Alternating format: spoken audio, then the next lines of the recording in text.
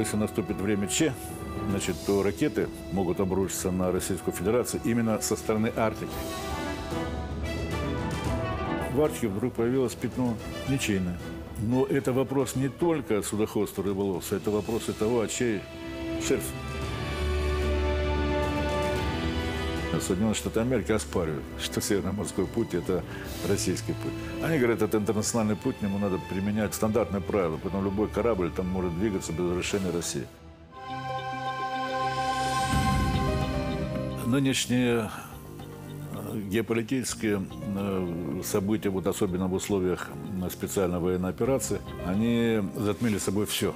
И все, что связано с этим, сегодня находится в центре внимания. И это правильно, закономерно, потому что здесь, можно сказать, э, решается судьба не только нашей страны, но и вообще мироустройства. А вот если мы вернемся лет на 15 назад, то одна из таких актуальных тем, которая бурно обсуждалась по всему миру, это арктическая тема.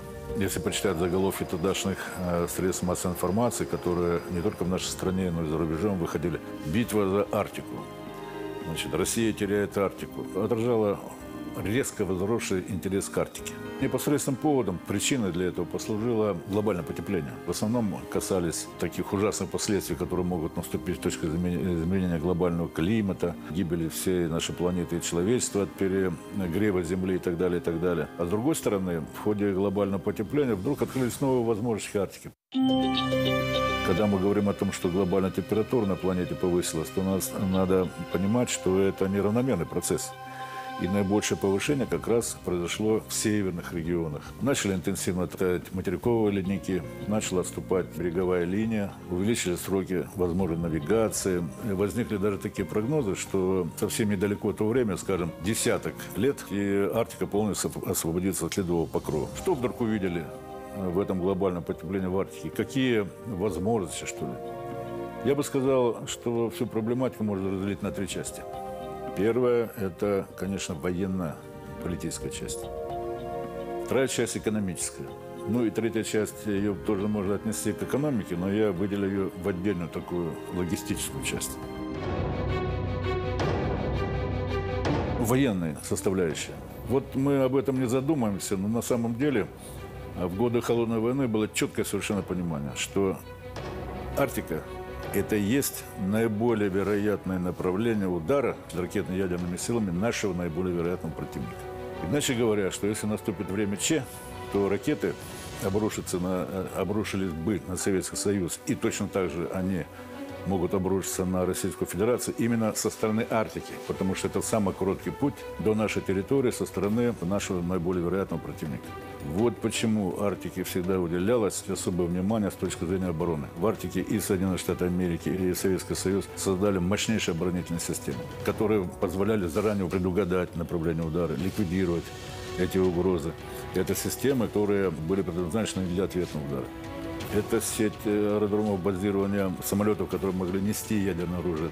Это сеть защиты этих аэродромов и так далее. Это мощнейшие э, такие оборонительные рубежи. Ситуация обострилась тогда, когда Соединенные Штаты Америки, это уже ближе к нашему времени, после Холодной войны приняли доктрину, так называемого мгновенного глобального удара. Пришли к выводу, что современ... развитие современной техники э, привело к тому, что можно, не используя ядерные силы, нанести обычными видами ракетного вооружения удар по основным точкам базирования ядерного оружия потенциального противника и обезоружить его, уничтожить. Вот эта стратегия, она нашла свое практическое выражение в дальнейших событиях, которые происходят в мире. Но вы помните, во времена Барака Обамы размещение противоракетных систем в Румынии и Польше. На самом деле это системы двойного назначения. Вот с помощью их можно нанести удар по основным точкам, где базируется ядерное оружие Российской Федерации. Вы видите события на Украине. Это приближение, возможно, к Российской Федерации баз НАТО для нанесения значит, этого опережающего удара. Вы помните, э, какое обострение вот последние годы события вокруг Курильских островов? Что уже этим японцам накурил? Что они бедные такие, э, страдают, что у них земли не хватает и так далее, и так далее. Тогда давайте посмотрим на демографическую ситуацию в Японии. Они массово бегут с острова Хоккайдо, где климат, наверное, получше, чем у нас в Приморском крае или Хабаровском крае, который находится примерно на тех же самых широтах. Ну, в силу социально-экономических причин. Тогда вопрос не в том, что им территории не хватает. А вопрос в том, чтобы получить контроль над Курильскими проливами и при необходимости, чтобы туда вошли э, силы, э, опережающие вот этот удар их главного сателлита Соединенных Штатов Америки. Ведь Япония это, будем говорить, не самостоятельная страна с точки зрения суверенитета. Ее военная и политическая часть определяется Вашингтоном, и вовсе не решениями японского правительства. Для них они хотят открыть эти проливы. Но то же самое дает глобальное потепление в Арктике. Оно дает возможность приблизить к нашим берегам э, силы вот этого, которые могут нанести э, опережающий удар. Вы видите, что на самом деле, казалось бы, сугубо политическое решение приводит вот к таким практическим последствиям. Причем вот сейчас они приняли на Украине даже трагический характер.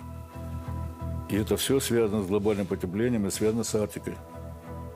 Вот почему там в Арктике мощнейшая военная составляющая. И одна из наших задач, конечно, укрепление, всестороннее укрепление наших главных оборонительных рубежей в Арктике.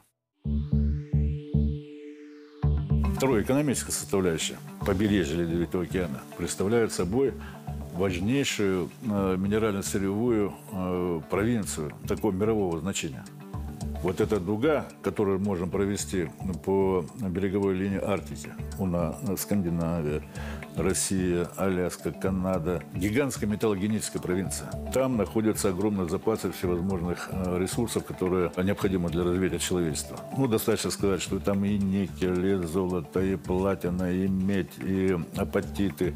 Там же находится четверть, по оценкам геологов, четверть мировых запасов углеводородов на непосредственно побережье арктическом и на шельфе арктических морей.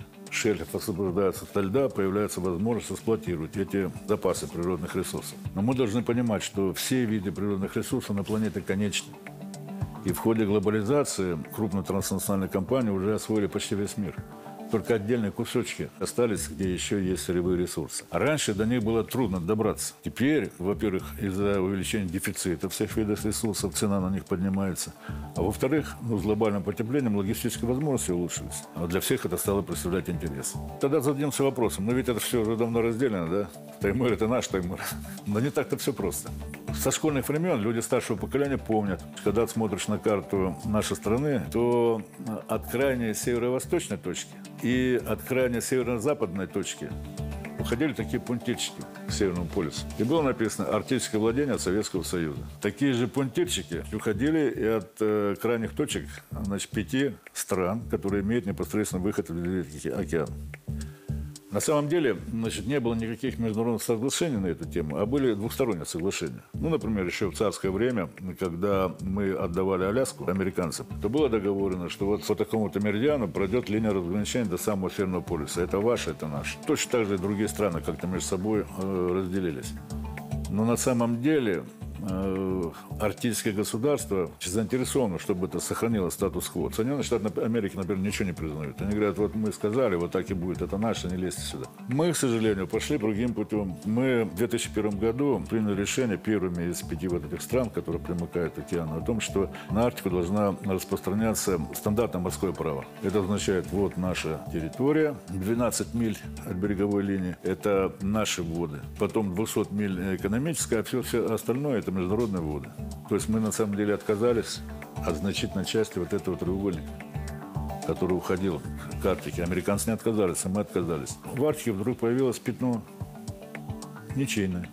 Но это вопрос не только судоходства рыболовства, это вопрос и того, а чей шельф – и вот сейчас мы принимаем титанические усилия для того, чтобы доказать, что на основании всех разных правил, ну, это надо изучать морское дно, склоны, хребты, которые уходят э, от побережья туда, в океан хребет Ломоносова, доказать, что это наш, что начинается в Сибири, а вовсе не в Гренландии. А если он начинается в Сибири, то, следовательно, там определенная зона это наша, и таким образом мы доказываем, что шельф там наш. Вот теперь мы вынуждены это делать.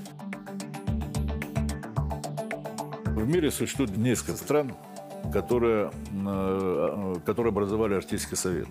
Это страны, часть территории которых находится за Северным э, полярным кругом.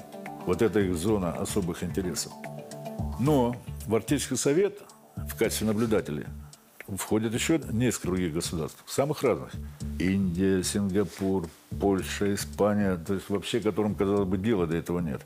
Так вот, вот э, эти страны, привлекая э, к себе в союзники другие страны, настаивают на том, чтобы по Арктике была принята специальная конвенция, такая же, как по Антарктиде, которая Арктику сделала достоянием всего человечества. Иначе говоря, это общее. Вот эта попытка завладеть этими природными ресурсами. По сути дела, если мы хотим действительно застолбить все это, значит, мы должны резко увеличить объем экономической деятельности в Арктике.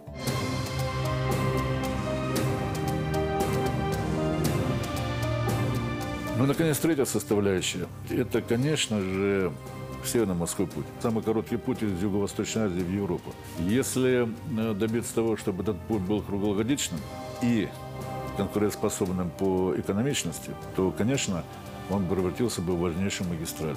Стоит вопрос о том, кто должен контролировать этот путь. Ну, например, Соединенные Штаты Америки оспаривают, что Северно-морской путь – это российский путь. Они говорят, это интернациональный путь, к нему надо применять стандартные правила, поэтому любой корабль там может двигаться без разрешения России. Поэтому нам предстоит еще задача дипломатическая доказать, что это наш путь. Это значит систему проводки судов, системы спасения, связи, навигации должны быть российскими это э, значит, что сама организация движения по этому пути должна быть находиться под нашим контролем, если мы хотим там закрепиться.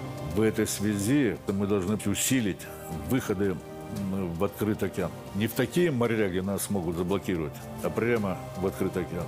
Северно-морской путь должен превратиться в постоянно действующий, независимо от погодных условий. Если хотите, это Суэцкий канал номер два, только во льдах.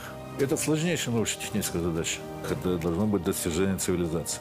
Конечно, эти все мои э, разговоры спорны. Могут быть другие решения, но я вот, например, такие предлагаю.